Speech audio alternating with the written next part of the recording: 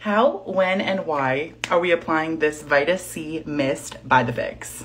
This little mist has vitamin C, B3, and aloe. It is the most soothing mist I've ever used. It also smells so good, just like his other products. They're very fresh and natural and clean smelling, which I absolutely love. So this can be used like a toner. You can do this when you get out of the shower after you've cleansed your face. You can spritz your face down with this as a toner. You can also use this to refresh your face throughout the day. If you just went to the gym or you're super sweaty, you can use this to help kind of clean out your pores that are might be clogged by oils and dirt. This mist is really great to reduce excess oils. It also minimizes the appearance of your pores while also improving skin texture and lightening hyperpigmentation. So little sunspots that you have, this is gonna help to brighten those sunspots and reduce those. After I've used this for a good week, I will definitely give you my full review and my full update on it. But as of right now, I just used it for the first time and my skin feels and looks really good. I haven't done any other skin um, care yet